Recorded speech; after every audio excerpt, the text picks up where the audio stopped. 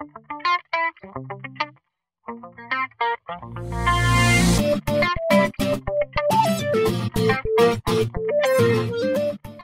guys, thanks for checking out another one of 1-800-PocketPC.com video. Today we'll be checking out a game called Towers of Hanoi.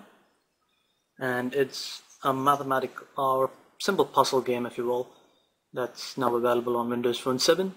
The game offers you 12 stages and as you can see in each stage it's got increasing number of tiles that you have to stack.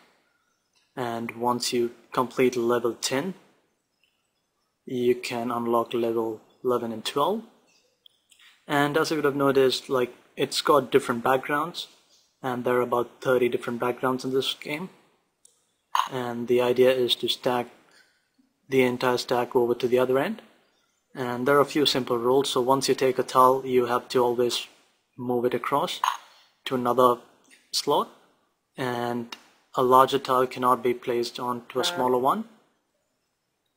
So but you can place a smaller one onto a larger one.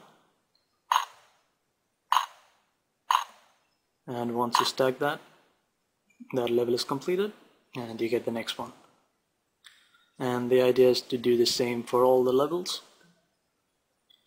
And there are a few settings in that yes can disable enabled sound or toggle the vibrate the timer things like that.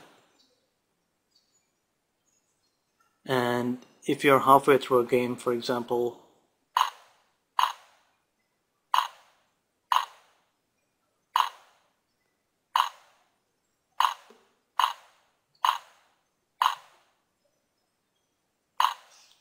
and if you jump out of the game for whatever reason if you hit back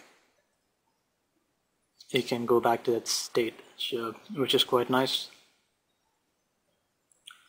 Other than that it's a simple Towers of Hanoi game with few custom backgrounds and if you're a fan of the game it's definitely worth checking out. Thanks for watching